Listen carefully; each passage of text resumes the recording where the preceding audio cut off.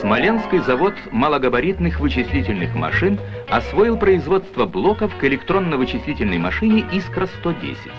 Новая машина компактнее прежней, кроме того, она более удобна в работе, а главное, считает гораздо быстрее, чем ее предшественница. Сейчас на заводе развернулось социалистическое соревнование за досрочное выполнение плана первого года пятилетки.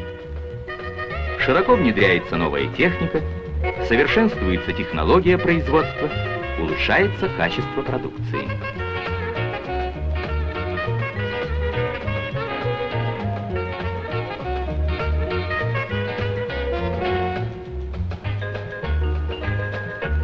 На монтаже блоков отлично работают комсомольско-молодежные бригады. Их девиз – пятилетки ударный труд, мастерство и поиск молодых. В новой пятилетке коллектив завода значительно увеличит выпуск различной электронно-вычислительной техники, которая необходима во всех областях народного хозяйства.